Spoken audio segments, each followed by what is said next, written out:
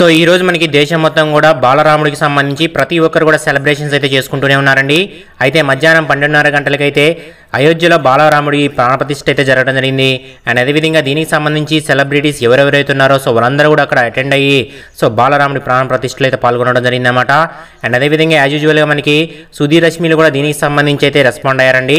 So బేసిక్గా రశ్మి గారు వచ్చేసరికి మనకి బాలరాముడి ప్రాణ ప్రతిష్ఠకు సంబంధించి లైవ్లో చూస్తూ సో దానికి సంబంధించి చాలా అంటే చాలా సెలబ్రేషన్స్ అయితే చేసుకున్నారన్నమాట. సో ప్రతి ఒక్కరు కూడా రాముని బాటలోనే నడవాలని చెప్పేసి ఇక్కడ రష్మి గారు అయితే ట్వీట్ చేయడం జరిగిందన్నమాట. అండ్ అదేవిధంగా దీనికి సంబంధించి సుధీర్ నిన్న కూడా. సో ఇలాంటి ఒక పోస్ట్ అయితే చేయడం జరిగిందన్నమాట.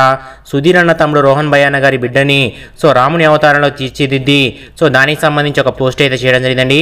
సో ఈ రోజు చాలా అంటే చాలా ఉత్సాహంగా ఉంది. అండ్ అదేవిధంగా దేశం మొత్తం కూడా గర్వించదగ్గ విషయం అని చెప్పేసి కూడా సుధీర్ అన్న అయితే ట్వీట్ చేయడం జరిగిందన్నమాట. సో ఏదేమైనప్పటికీ సుధీర్ రశ్మిలు కూడా సో చాలా అంటే చాలా సెలబ్రేషన్స్ అయితే ఈరోజు జరుపుకున్నారండి. సో దేశంలో ప్రతి ఒక్కరు కూడా షూటింగ్స్ అన్ని కూడా ఆపేసుకొని సో బాలరాముడికి సంబంధించి ప్రతి ఒక్కరు కూడా సెలబ్రేషన్ చేసుకుంటున్నారు. సో ఇంటింటా కూడా దీపాలు వెలిగించి శ్రీరాముని ఇంటికి వెల్కమ్ కూడా చెప్పుకుంటున్నారండి. సో దీనికి సంబంధించి మరి సో ఎంతమంది సెలబ్రేషన్ చేసుకున్నారు? నాకు తెలిసి అయితే దేశంలో ఉన్న ప్రతి ఒక్క హిందూ కాదు అండి.